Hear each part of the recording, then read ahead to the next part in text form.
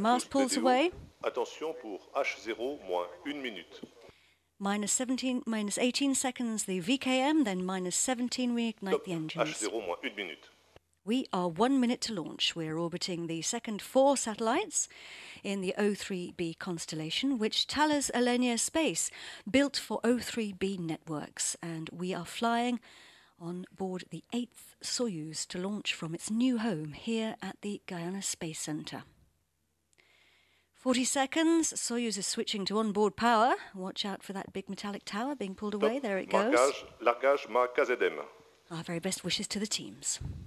À tous de DDO, attention pour le début de la séquence d'allumage lanceur.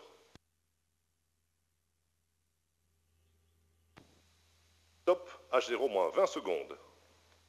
Top largage mât VKM. Top allumage triétage. À tous de DDO, attention pour le décompte. 10, 9, 8, 7, 6, 5, 4, 3, 2, unité, padium. Décollage, lift-off, c'est parti.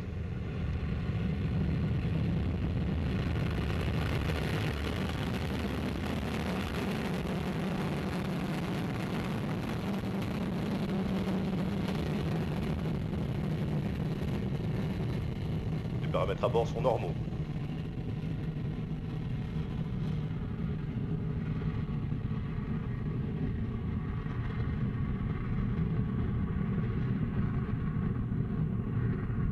Les moteurs des premiers et deuxième étages fonctionnent normalement.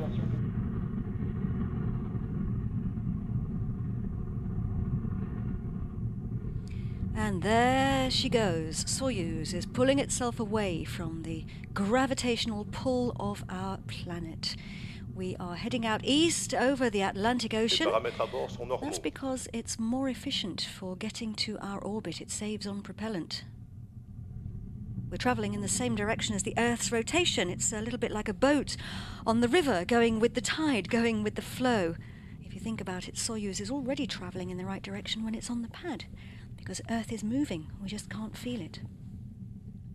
So, we're burning five engines right now, but the boosters, those four there, are the ones that are doing all the work. Gravity makes us stick to our planet, but it also makes it incredibly difficult to get away, and that's why we need so much firepower.